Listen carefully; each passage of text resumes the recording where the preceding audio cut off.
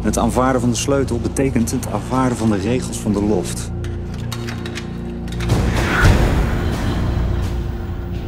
Waarom zouden wij hier een loft willen huren, Matt? Ik denk dat jij wel weet wat ik bedoel. Onze eigen loft.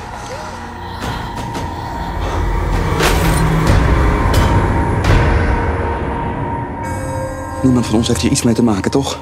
Wat is hier gebeurd? We moeten het huis opruimen, alle sporen uitwissen. We kunnen het toch niet zomaar laten verdwijnen? What the fuck? Hallo? Zal ik jou een geheim vertellen? Kennen we elkaar?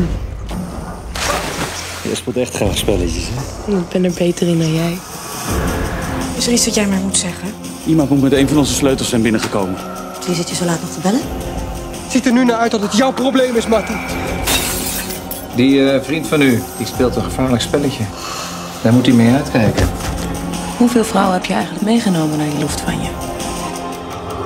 Goed verstaande heeft dan een half woord nodig. Als alle mensen die bedrogen worden elkaar zouden vinden, wat denk je dan dat er gebeurt? dezelfde tering, ja? Je hebt toch niet bekend, hè? Regel 1, nooit bekennen.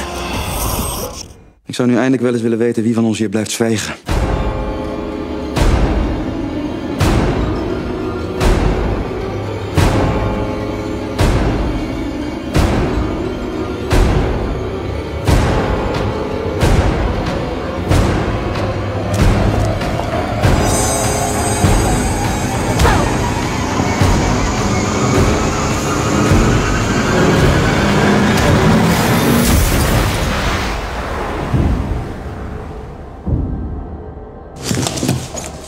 Ik heb haar niet vermoord.